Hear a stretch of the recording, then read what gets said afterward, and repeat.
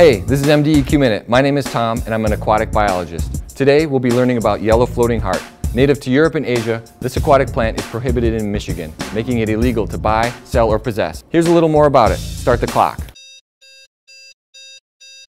At first glance, it looks a lot like native water lily species.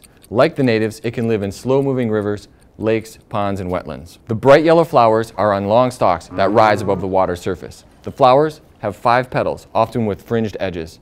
Native water lily flowers are white with many more petals or yellow and round. The floating leaves are heart-shaped and range from 1 to 4 inches across.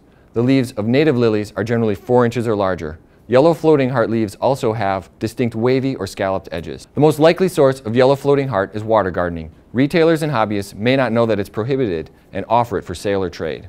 Several populations have been found in Michigan in man-made ponds, but there is potential for it to escape into the wild. Once introduced, it can create dense mats that impede recreation, crowd out native plants, and reduce habitat for fish and wildlife. Early detection of yellow floating heart is critical, so if you think you found it, tell us.